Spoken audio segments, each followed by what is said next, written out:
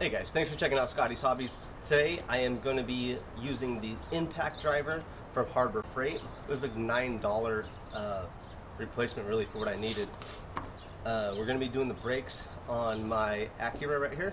So we're going to go ahead and use this and hopefully it works.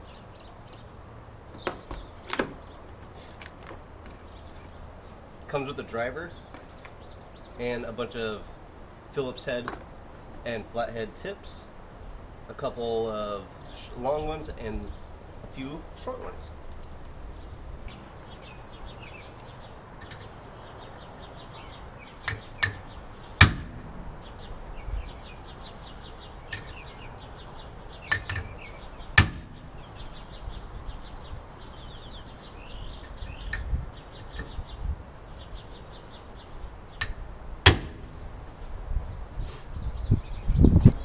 So what you're gonna do is when you put it on here, you're gonna just hold it to the direction that you wanna go. Don't push in. Just hold it to the left or the right, what direction you wanna go. And then you're gonna give it one good whack. Should come right loose. So now I'm just holding it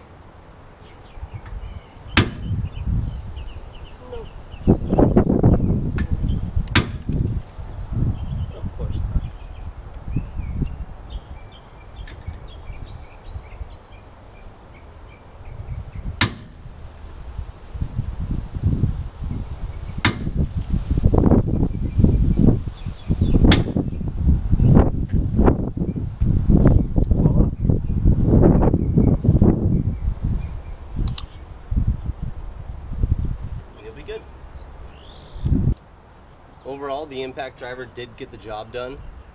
Um, the tip is twisted pretty good. Uh, I wouldn't depend on this one again. Um, probably have to get a replacement tip or use one of the spares are left uh, or given in the kit. But for nine bucks, it works.